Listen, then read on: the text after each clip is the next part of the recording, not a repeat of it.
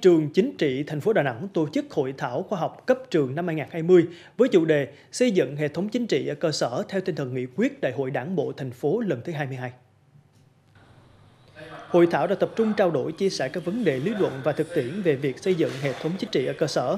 Trong đó đáng chú ý là các tham luận về việc Đà Nẵng tập trung xây dựng hệ thống chính trị tinh gọn, hiệu lực, hiệu quả gắn với tinh giản biên chế, về xây dựng chính quyền cơ sở bắt đầu từ việc kiện toàn đội ngũ cán bộ cơ sở, về xây dựng tổ chức cơ sở đảng và việc nâng cao chất lượng hoạt động giám sát của Mặt trận Tổ quốc Việt Nam thành phố, về một số điểm cần lưu ý để nâng cao chất lượng công tác kiểm tra, giám sát ở các tổ chức cơ sở đảng. Tại hội thảo, những kinh nghiệm từ thực tiễn cũng đã được nêu ra như việc tăng cường công tác kiểm tra, giám sát của đảng, có phần xây dựng tổ chức đảng trong sạch vững mạnh tại quận Thanh Khê. Về những điểm sáng của Hội Nông dân ở cơ sở, nhìn từ thực tiễn phường Hòa Hiệp Bắc, quận Liên Chiểu.